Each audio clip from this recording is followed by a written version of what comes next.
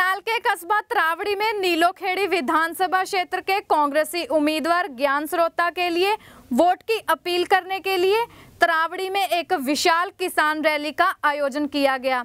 इस रैली में मुख्य अतिथि तौर पर हरियाणा के मुख्यमंत्री भूपेंद्र सिंह हुड्डा पहुँचे। हज़ारों की संख्या में पहुँचे किसानों को देखकर मुख्यमंत्री भी गदगद हो गए। मुख्यमंत्री ने मंच पर पहुंचकर जमकर केंद्र सरकार को आड़े हाथों लिया। मुख्यमंत्री का कहना था कि सरकार की गलत नीतियों के कारण ही किसान परेशान हैं। उन्होंने कहा कि पिछले कुछ दिनों से जैसे धान और कपास के रेट गिरे हैं, वह चिंता का विषय है।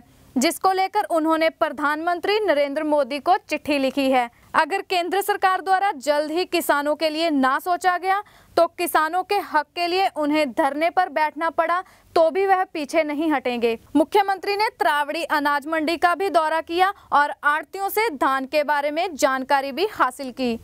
जो जो जीरी 1509 जिसका 15 दिन पहले 3500 था भाव वो 2200 रुपए बिक रही है 2400 रुपए बिक रही है, जो मशीन से निकाली गई है। हाथ से निकाली गई है, वो सताईस सौ, अड़तीस सौ रुपये तक बिकी वो। तो ये बड़ा भारी नुकसान हो रहा है। एक एकड़ पर किसान का कम से कम पच्चीस हज़ार से लेकर चालीस हज़ार, तीस, चालीस हज़ार रुपये पर एकड़ घाटा हो रहा है। और मैंने प्रधानमंत्री जी को भी लिखा है कि भाई ये जो घाट, ये हो रहा है, ये क्या कारण है? और इसके ऊपर उचित कदम उठाया जाए जल्दी से जल्दी। और ये खाली जीरी में नहीं हमने गेहूँ का बोनस मांगा था उसमें भी वो हो गया। और कपास का भी जो भाव एकदम हज़ार बारह सौ रुपये क्विंटल एकदम गिरा है। किसान को बहुत तकलीफ़ है और मैंने कहा है कि भाई कदम उठाएँ उचित कदम उठाएँ नहीं तो कोई भी कड़ा कड़ा कड़ा स्टैंड मैं भी ले सकता हूँ। मेरा तो दिल मेरा तो दिल ये करता है मैं आज यहीं पर धरने पर बैठ जाऊँ।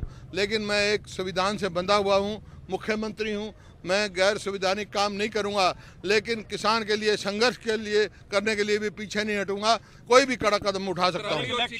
मुख्यमंत्री का यह चुनावी स्टंट किसानों को कितना भाता है, यह आने वाला समय ही बताएगा। इंडिया 24 के लिए करनाल से जोगेंद्र सिंह की रिपोर्ट।